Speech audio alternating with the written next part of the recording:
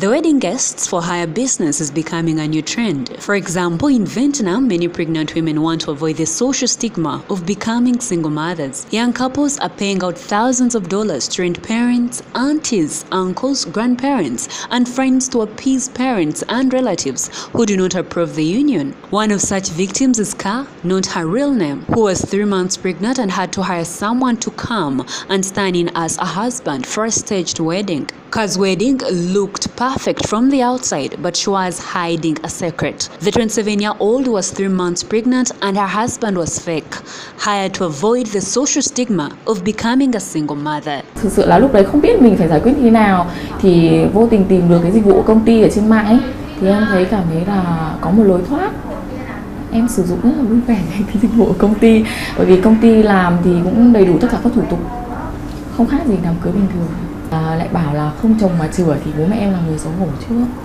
ở quê thì là em phải nghĩ điều đấy cho bố mẹ trước Ka plans to tell her family that her husband left her. She prefers to be referred to as a divorced single mother instead of being called a single mother. This was after her $1,500 fake marriage, which was quietly paid for by her baby's father, who is married to another woman.